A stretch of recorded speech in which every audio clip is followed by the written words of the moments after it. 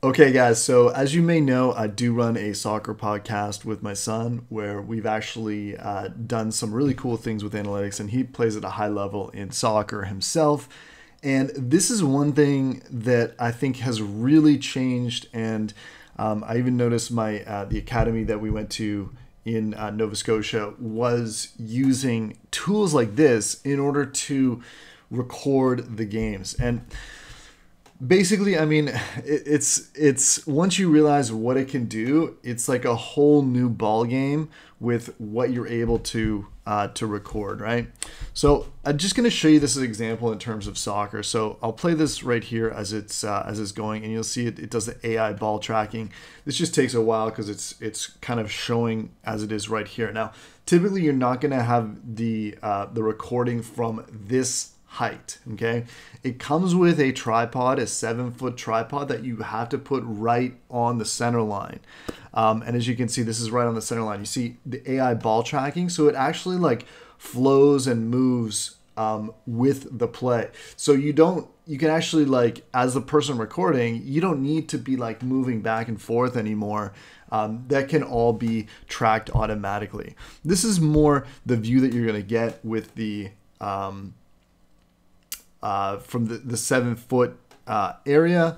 Um, so it's not as dramatic as that other one, but what it can do is it can it auto tracks all the things so you can skip ahead to different shots, different blocks, um, you know, different goals and and that sort of thing. So that that comes with the uh, with the tool as well. And then there are video analysis where it can look at where people are in terms of their position and it will you know try to try to you know predict or, or uh, play back um, or you know correctly tag these events that happen in the actual motion. So this is a great example of how AI has blown things out of the water in terms of recording for kids sports.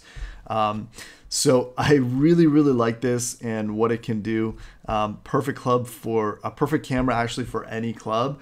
And you basically just, um, you know, we'll bring this, it will take four hours to process the, the, the video because it goes through the AI and that sort of stuff. And then you can actually have the pro analytics, right? So um, you don't need to have that, but um, just the actual video is going to be so much smoother, so much higher quality than what you can get with an iPhone because it's actually made, you know, to do just that. And with the way that the recording has has uh, come, it's it's really um, it's really made it uh, made it powerful to uh, to do.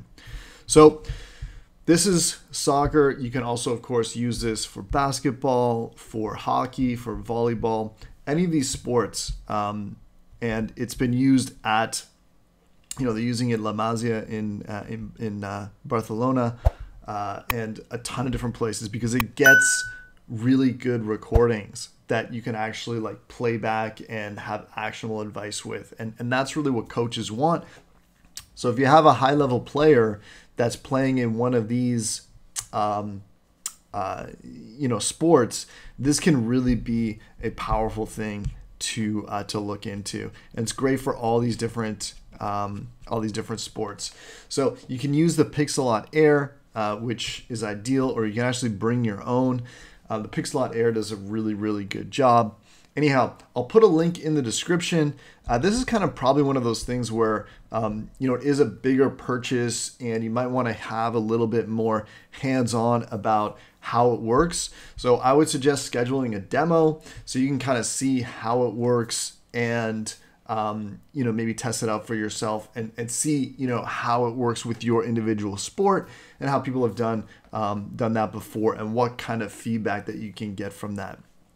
As always, if you do have questions, hit me up in the comments. And if you have used this or a similar tool, um, let me know in the comments what tool you used and how effective it was and what you thought about it. And I think that would be uh, awesome to share with, uh, with our audience. All right, that's it for this video. We'll see you in the next one.